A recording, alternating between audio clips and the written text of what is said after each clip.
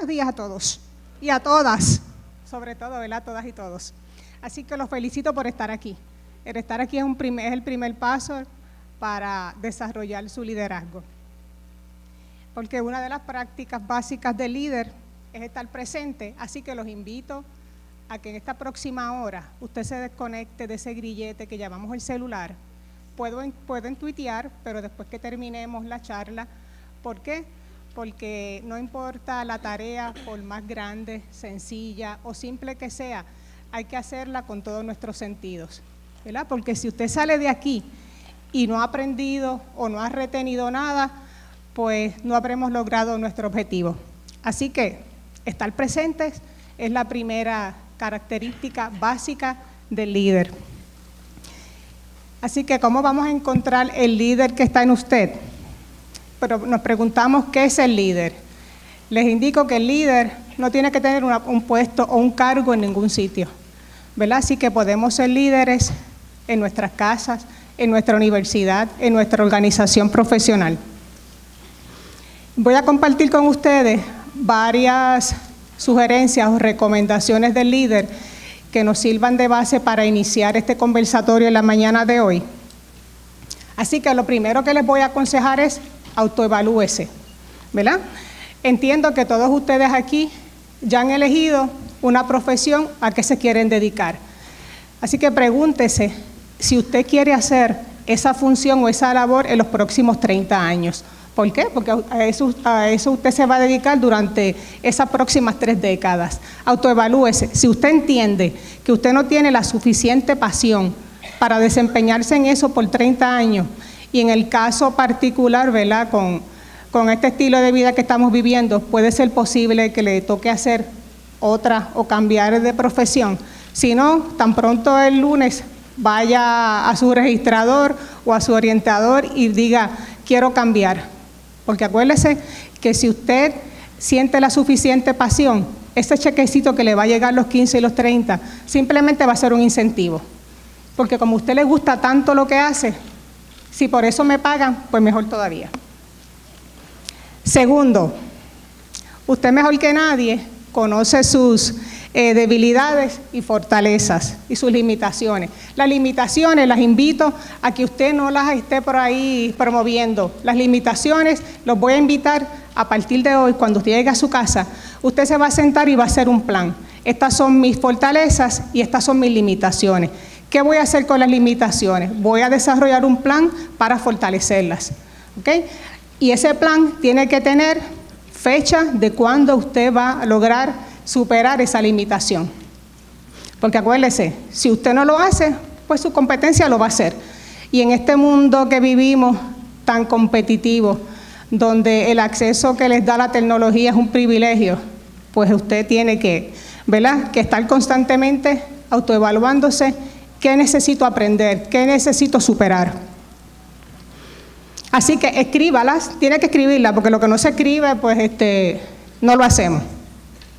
Recuerden, yo siempre les comento que la oportunidad es una cabeza calva que hay que alar por los pelos. Así que ese es el reto que tenemos. ¿Cómo vamos a, identificar esa oportunidad? Ustedes proceden de, una generación privilegiada. Generalmente yo creo que aquí la mayoría son ¿qué? millennials.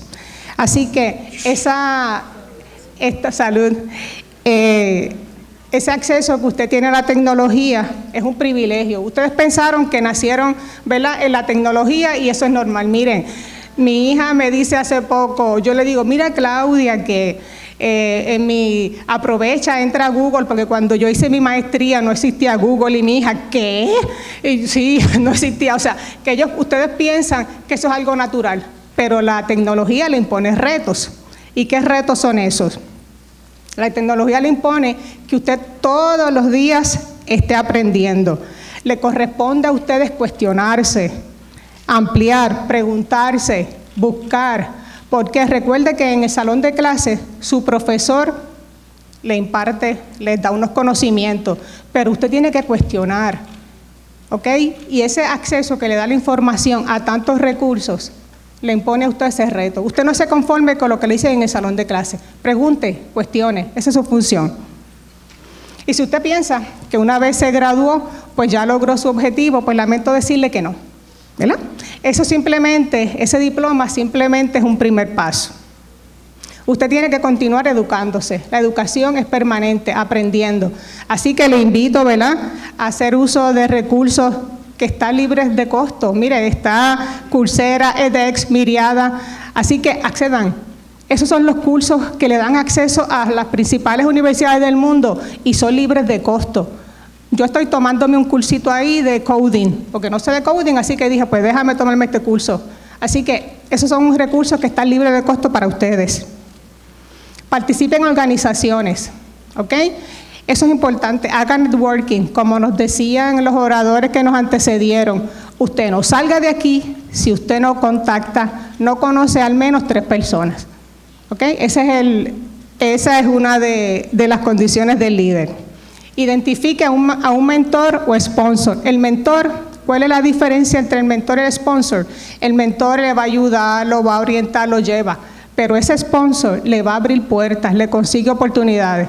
Así que identifique a alguien en su área profesional que usted admire o que sepa más de usted o que tenga experiencia y hágase amigo, porque esa persona estoy segura que va a compartir ese conocimiento, porque si yo sé algo y no lo comparto, pues no sé nada.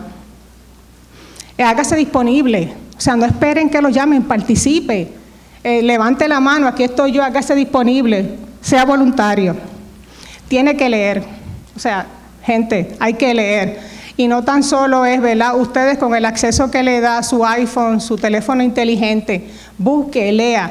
Si usted hoy, les recuerdo que hoy 30 de septiembre nuestra relación con Estados Unidos cambió con promesa. Si usted al día de hoy no sabe que el proyecto promesa tiene 88 páginas y el impacto que eso va a tener en ustedes, en su papá, en su mamá, en esta universidad, en las universidades, el impacto económico que va a tener, pues los invito a que lo lean. Porque si no, o sea, yo cuando entrevisto gente, mi primera pregunta es, ¿cuál fue la portada del periódico El Nuevo Día de hoy? Y el que no sepa, pues ya ustedes saben que, ¿verdad? Este, lamento informarle que es difícil. O sea, contratarlo, porque si usted solamente sabe de lo suyo y no sabe de lo demás, así que tiene, tiene que leer y lecturas sobre, o sea, sobre lo que está pasando en ISIS, sobre las elecciones. Este, así que vamos a hacer uso de ese recurso. Y no temer al fracaso. Les digo, el fracaso lo vamos a encontrar todos los días. Pero ¿cómo usted, la estrategia es la siguiente, ¿cómo usted va a enfrentar el fracaso? El fracaso es cómo yo salgo con la mejor actitud, cómo salgo fortalecido, qué aprendí de eso, cómo me levanto, ¿ok? Con mi actitud más eh, positiva. Si me quedo en el fracaso, mire, sí, hay veces que, y dependiendo, ¿verdad?, eh, cómo sea, le puedo comentar, o sea, en mi vida profesional, fracasos han sido cuando he tenido que irme de un puesto, porque sé que primero no me da la oportunidad, mira, más vale que renuncie. Y uno, esas son situaciones que uno tiene que enfrentar como profesional. ¿Y que uno ha hecho?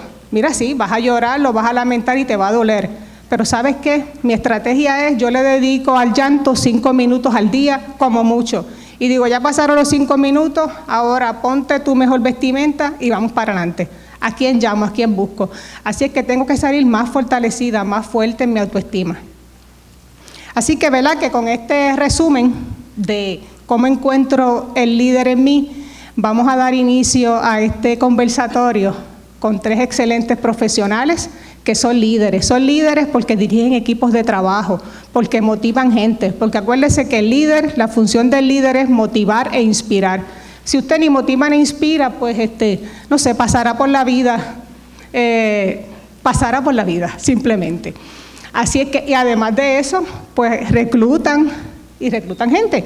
Así que creo que los consejitos que van a compartir con nosotros, pues pueden ser de gran interés para ustedes. Así que hay dos micrófonos eh, dispuestos para que ustedes pregunten, porque el líder pregunta y el líder cuestiona. Así que aquí queremos que ustedes hoy eh, hagan, ese ejercicio. Así que vamos a, comenzar con esta pregunta. Define tres prácticas de liderazgo que entiendas que son esenciales para estos jóvenes. Vamos a comenzar aquí con Lourdes del área de manufactura. Muy buenos días a todos y muchas gracias por la invitación. Para mí es un, un placer estar aquí y verdaderamente es un, es un momento donde uno se llena de energía, viendo una audiencia joven, cautiva y, y lista para comenzar su camino de, de aportar a nuestra sociedad. Bueno, déjenme hablarles primero un poquitito de mí, un poquitito más de mí, porque yo creo que el contexto es importante para, para entender de dónde yo parto en el liderazgo. Eh, eh, yo soy vicepresidente de operaciones en Striker. Yo manejo un grupo de 3.000 personas eh, en Puerto Rico, Estados Unidos y México. ¿Verdad? Obviamente las 3.000 no se reportan a mí directamente porque si no, no estaría aquí, ¿verdad? Pero les da una idea. De hecho, soy la única mujer. Striker tiene 10.000 personas en su red de manufactura y yo soy la única mujer que maneja una red de manufactura dentro de Striker, ¿verdad? Así es que eso les da un poquito de, un poquito de contexto.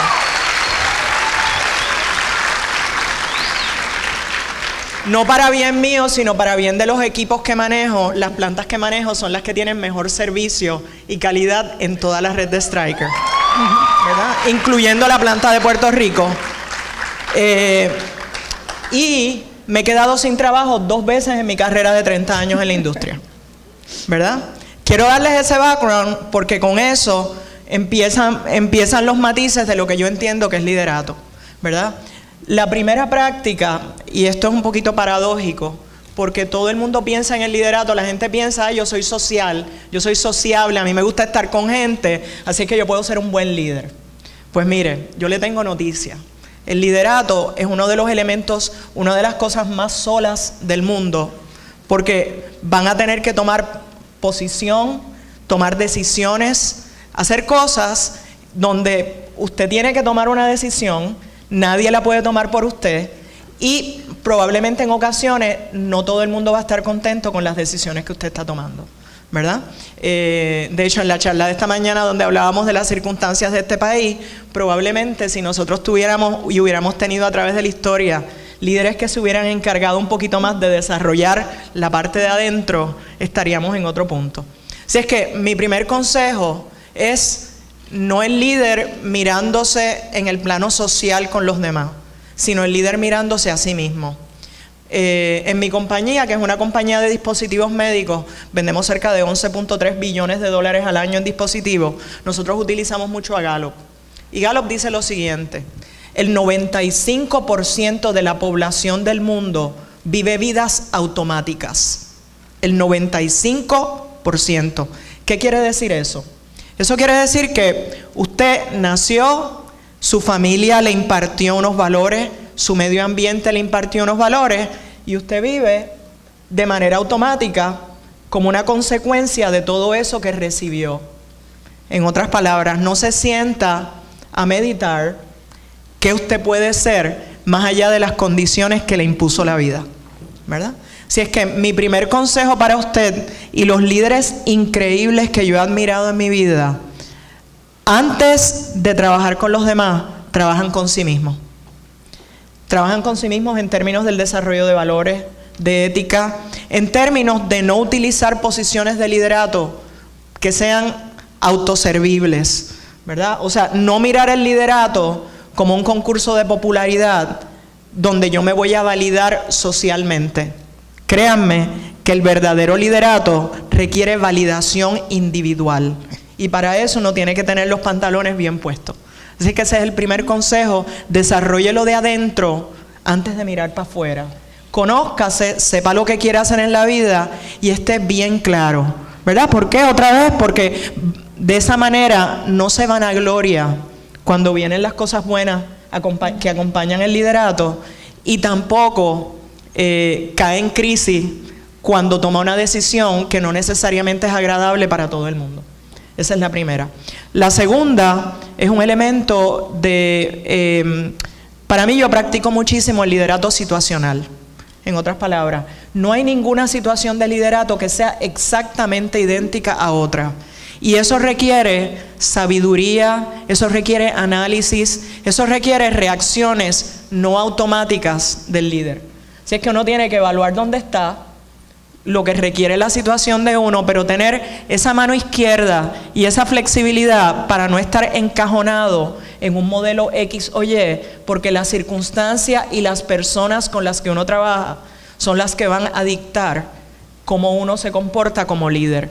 Y la tercera, puedo decirle, en mi caso, eh, un elemento doble. Por un lado, una pasión hacia los resultados, porque el liderato efectivo tiene que llevar a resultados efectivos. Si no, hay un problema y hay un disconnect, ¿verdad? Eh, el segundo elemento, como el líder trabaja a través de la gente, el tener una pasión, no para socializar con la gente, para desarrollar, para escuchar, para aprender de los demás, ¿verdad? Y un deseo de trabajar con diversidad, porque el líder más exitoso se rodea de grupos diversos que son entonces capaces de inyectarle eh, elementos que el líder por sí solo no tiene. Así es que ahí está mi contestación. Muchas gracias. Muchas gracias.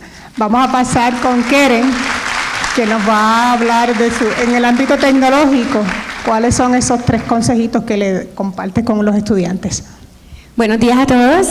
Eh, muchas felicidades por estar aquí. Para mí igualmente es un honor estar compartiendo este panel con estas exitosas mujeres y con ustedes también. También para dar un poquito de contexto, ¿verdad? Eh, más de, lo que leyó Jubelkis, yo soy responsable de liderar eh, la estrategia de Microsoft hacia la educación. tanto en Puerto Rico como en el Caribe. Y eso pues tiene una gran responsabilidad desde mi perspectiva eh, porque todo el mundo tiene a ver a Microsoft como una compañía de tecnología. Entonces siempre lo primero que viene a la mente es software, es Windows, es Office. Eh, sin embargo, gran parte de mi responsabilidad es lograr eh, que podamos entender que nuestra función es cómo transformamos la educación y cómo potenciamos los estudiantes, los profesores, las comunidades a alcanzar más a través del uso de la tecnología. Entonces, con ese reto en mente, ¿verdad? O con esa visión, eh, un poco, para mí lo más importante que les puedo decir, que es una de mis mejores prácticas en el liderazgo que ejerzo, es vivir con pasión lo que hago.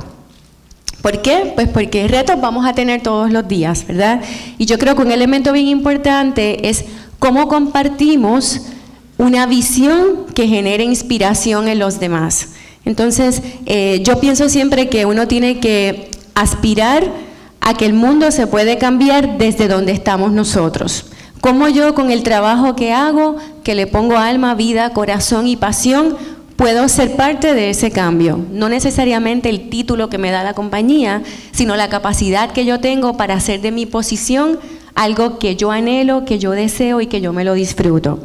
Eh, eso para mí es un elemento súper importante y en mi caso específicamente es una, yo le digo a todo el mundo en mi oficina y en mi corporación que yo tengo el mejor trabajo de Microsoft en Puerto Rico. Y les digo, ¿por qué? Porque mi trabajo me permite cumplir con mi misión de vida, que es hacer la diferencia en la vida de los demás.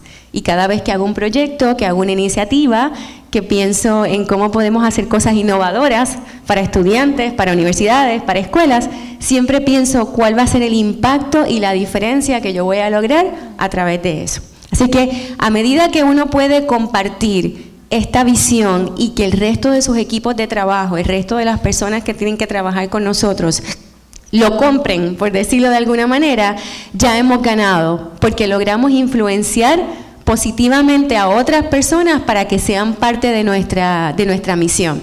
Otro elemento importante para mí siempre es trabajar enfocado en resultados no necesariamente el medio, ¿verdad? Una compañía como la nuestra es muy dinámica, es muy poco tradicional, en el sentido de que no tenemos horario 8 a 5, no ponchamos, eh, no tengo que llenar status report de lo que hago. Sin embargo, yo inicio todos los años con unas metas que tengo que alcanzar. Entonces, yo sé que yo tengo desde el primero de julio hasta el 30 de junio para completar mis metas. ¿Cómo lo hago? Yo defino en el camino las estrategias y ahí pues viene trabajo en equipo, comunicación efectiva, cómo logro que las demás personas entiendan mi causa y trabajen para mí. Eh, y eso es sumamente importante en un líder, ¿verdad? Porque ya tienes tú que pensar cómo vas a hacerlo para lograr tus objetivos y la compañía no te va a decir, aquí está la recetita de cómo hacerlo. Tiene uno que con estas competencias que uno gana en el camino, eh, pues poder trabajar para eso. Y por último, eh, yo creo que algo bien importante es identificar quiénes en nuestro grupo de trabajo o en nuestro equipo o en nuestra oficina tienen metas comunes con nosotros. Entonces, esto es otra práctica que nosotros en Microsoft tenemos y es que mis metas son las metas de por lo menos 20 personas en mi oficina. ¿Qué significa eso? Que todos tenemos que trabajar en equipo para el mismo fin. Entonces, ya no soy yo sola, como ya era solitaria, ¿verdad? Tratando de alcanzar mis resultados, sino que tenemos que buscar la forma de trabajar en equipo porque si yo no hago mis metas, hay por lo menos 20 personas que no las alcanzan. Entonces eso un poco ayuda a uno empezar a pensar en el colectivo y en cómo todos unidos eh, vamos a trabajar para alcanzar las metas y no solamente las individuales. Esa sería mi, mi aportación a este tema. Perfecto. María, en el ámbito de los medios sociales. Sí, eh, mi nombre es María Matías, soy gerente de proyecto en GFR Media. Eh, como gerente de proyecto, pues a mí me llega con regularidad a una situación, me, me plantea una situación que es lo que llamamos el proyecto, que tiene que ser resuelta. Y eh, acompañada con un equipo de trabajo en los últimos años ya predefinido. Eh, por ser la tercera en contestar, tengo que decir que muchas de las cosas que han dicho mis compañeras, pues coincido con ellas, estoy de acuerdo con ellas. Eh, yo he practicado varios eh, métodos, ¿verdad? O modalidades de líder y como dijo la compañera, pues aplico aquella que es más adecuada para las circunstancias y la gente con la que estoy trabajando. No obstante, he experimentado últimamente que una en particular que me funciona muy bien y es la de liderato por servicio. Porque eh, a quien no le gusta ser escuchado, entendido, atendido. Eh, cuando la persona se siente escuchada, entendida y atendida adecuadamente, se desarrolla una relación de confianza entre ese líder y la persona ¿verdad? que está exponiendo la situación y que, tiene la necesidad.